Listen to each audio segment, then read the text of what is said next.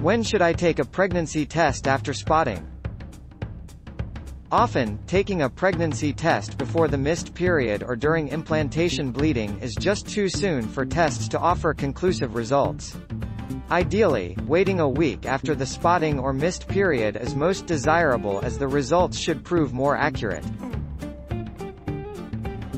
How can you tell if someone's pregnant by their eyes?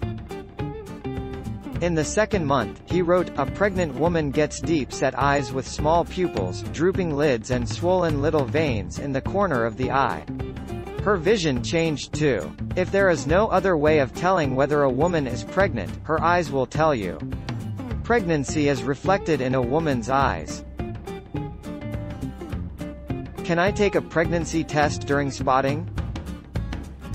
A pregnancy test will normally be positive shortly after implantation bleeding, but it still may take days. Dot dot dot. This is one of the reasons why it may be best to wait until you have missed your period to take a pregnancy test.